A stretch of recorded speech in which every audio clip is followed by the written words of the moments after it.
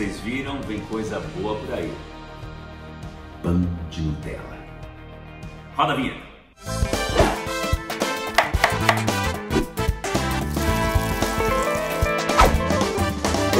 Like na cozinha.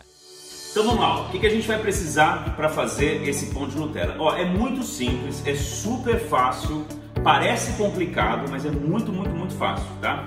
Nós vamos precisar de meia xícara de manteiga já derretida, Nutella, dois ovos, 500 gramas de farinha de trigo, uma pitada de sal, um sachê de fermento biológico daquele tipo seco, sabe? Meia xícara de açúcar, 200 ml de leite, um prato redondo, papel manteiga, tipo aquele papel vegetal, né? Papel branquinho, aquele papel manteiga, e uma forma redonda, tipo de pizza. Então, vamos ver como é que faz? Vamos lá, vem comigo, vem cá. Eu gosto de começar colocando os ovos, né? Vamos colocar os ovos aqui então. Dois ovos no fundo, a manteiga, o leite, o açúcar, pitadinha de sal, muito não, viu gente? Uma, duas pitadinhas de sal já tá ótimo. E o fermento. Eu gosto de, antes de colocar a, a farinha de trigo, eu gosto de dar uma mexidinha nele aqui, só uma, uma, uma batidinha aqui, pra gente poder pegar o pontinho já. Ok. E agora vamos colocar a farinha de trigo. A Nutella nós vamos usar depois, tá? Então relaxa aí, calma lá. Vamos lá, vamos bater esse, esse trem aqui antes, vamos lá.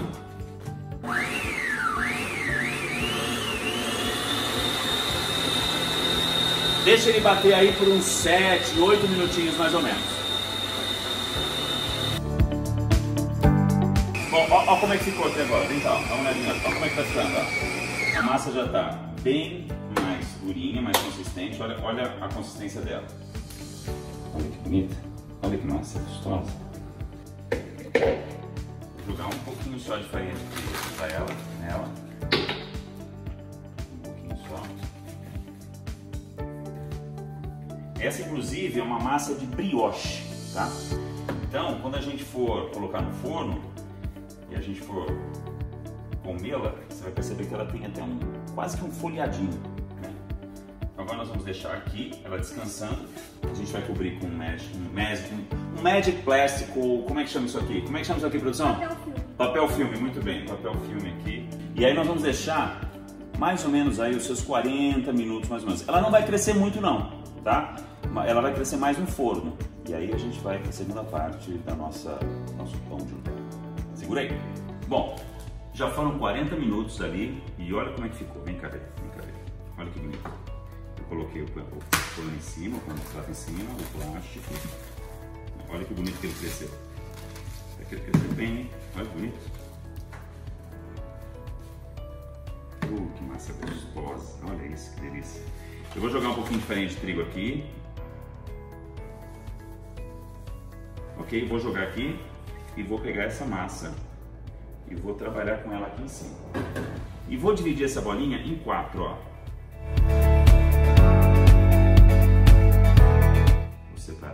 Deixar aqui no cantinho. Deixar aqui no cantinho. E agora, com uma, uma, um pau de macarrão, nós vamos abrir essa massa.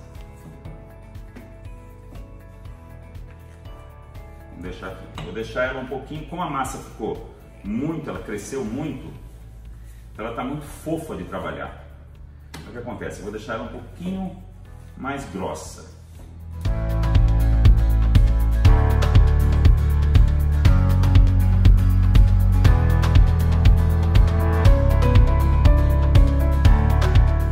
Ó, eu estico, ela fica maior que um prato. Só que quando eu vou trabalhar com ela aqui, ó, ó, quando eu vou puxar novamente, ela vai diminuir, tá vendo? Tá vendo?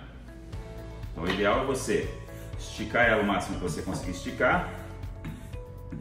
E depois abri-la, virar e ela vai ficar do tamanho sem ter que voltar a encolher, olha lá. olha lá, não diminuiu nada, tá vendo? Então aí eu vou pegar isso aqui, isso aqui eu vou guardar para quem sabe a gente consiga fazer uma quinta massa, uma quinta folha, o que eu acho que a gente consegue tranquilamente. Então eu vou deixar essa aqui aqui, vou colocar já na minha forma, ó, vou deixar a minha forma já aqui, que é uma forma que a gente vai colocar esta massa, tá? Já vou colocar aqui um pouquinho de farinha de trigo. Vou já colocar essa minha massa ali, bem no meio.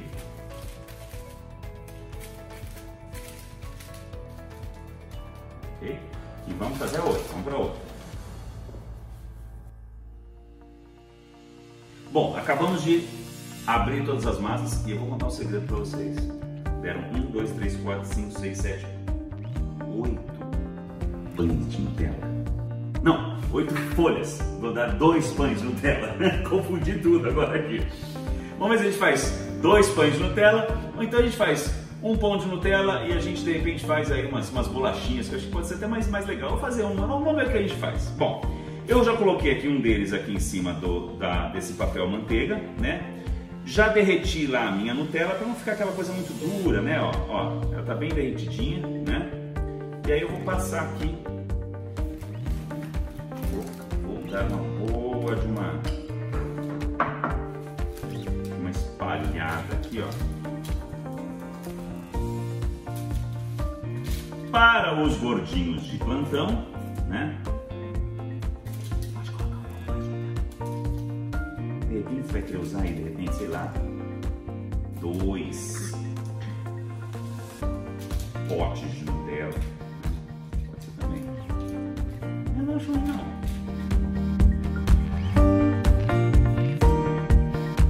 Aí o que nós vamos fazer? Nós vamos pegar uma outra massa que a gente abriu vamos colocar exatamente em cima da anterior. Ó, exatamente em cima da anterior. E vamos fazer o mesmo processo. Ó, vamos espalhar, vamos espalhar.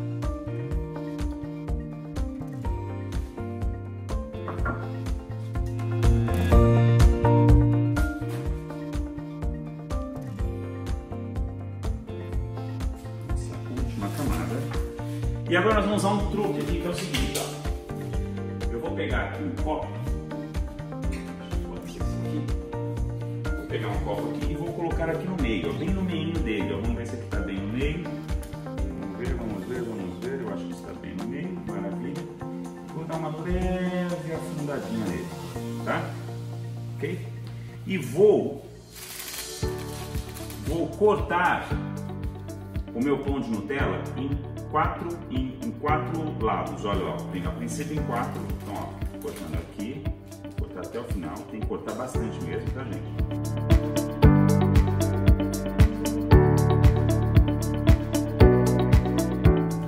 Agora vou cortar mais uma vez.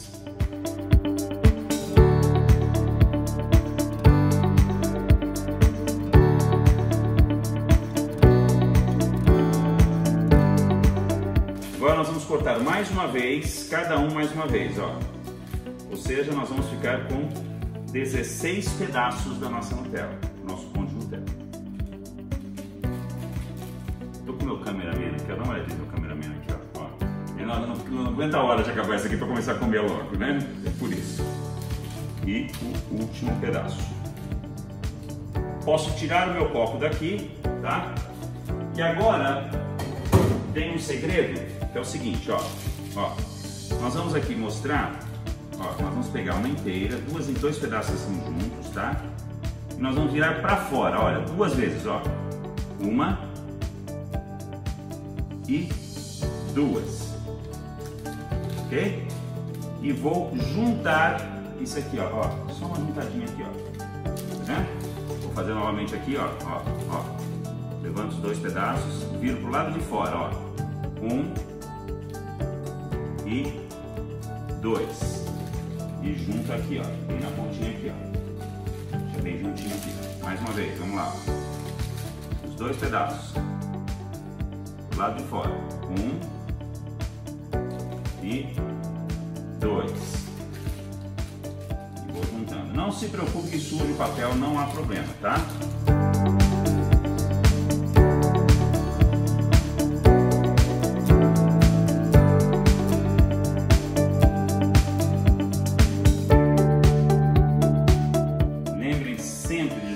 Essas bordinhas aqui, ó, tá?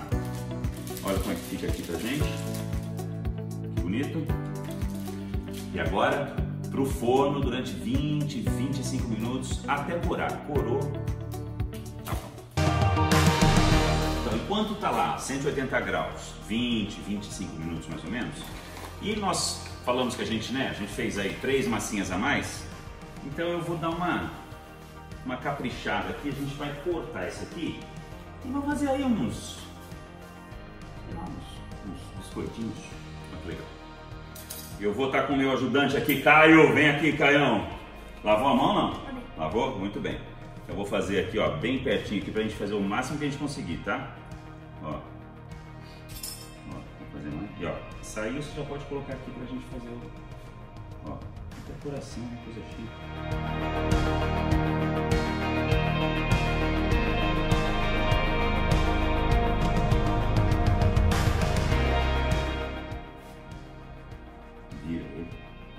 Isso. Olha aí, ó. Nós fizemos com o que sobrou de massa, nós fizemos ah, esses, essas estrelinhas, corações, né? Agora, se você não tiver essas estrelinhas, essas coisas assim para cortar, não há problema nenhum. Pega um copo de cristal, né, de, de, de borda fina e, e, corta a massa toda redondinha. Fica bom também. 20 minutos se passarem, vamos lá, vamos pegar. Vem cá. Olha que coisa mais maravilhosa. Olha que bonito isso. Agora é o seguinte, eu vou tirar ele daqui, tá? Eu vou tirar ele daqui e vou deixar esfriar um pouco, porque assim, como é muito quente, isso aqui não é legal também, tá? E agora, um trabalho maravilhoso de Lucimara Fiorenzi Sintelli. Olha que bonitinho. Agora a gente vai lá pro forno colocar mais. Eu acho que nem vai dar 20, não vai dar 20 minutos, não. Dar uns 10, 15 minutinhos só. Vamos colocar lá. E é só dar uma douradinha que a gente já tem uns biscoitinhos maravilhosos. Bom, depois de exatos 15 minutos, olha que bonitinho. Olha que legal. Olha que bacana. Como eu falei pra vocês, você pode fazer isso aí com um copo, qualquer coisa assim, que você, um copo de ponta fina, né? Isso aqui é gostoso para comer com um, assim, uma manteiguinha, né? Um, um maravilhoso.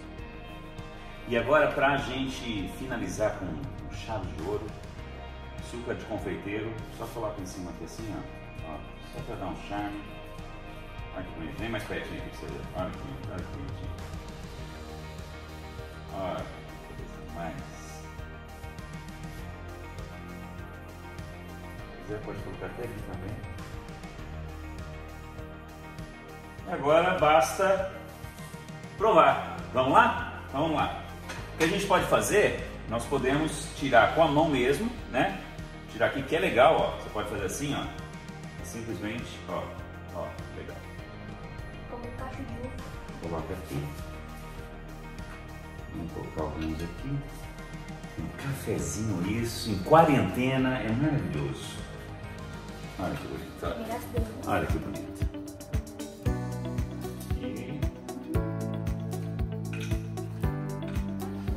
E... aí? Vamos experimentar? Vamos todo mundo pra câmera ali. Vamos lá, todo mundo pra câmera aqui assim, ó. Vem aqui assim, ó. Então, vamos lá? Um, dois e. Hum. Uhum. Uhum. Uhum. Uhum. Uhum. Uhum.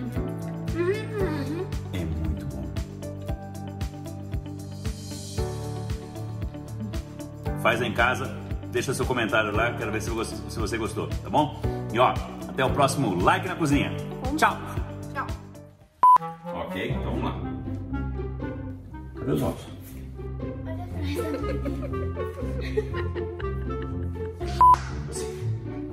Olha isso aqui. Vamos lá então.